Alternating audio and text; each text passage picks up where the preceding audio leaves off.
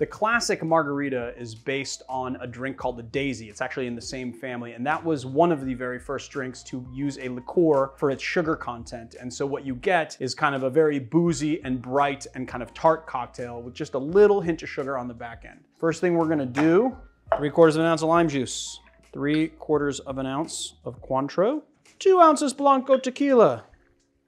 Add some ice to our tin.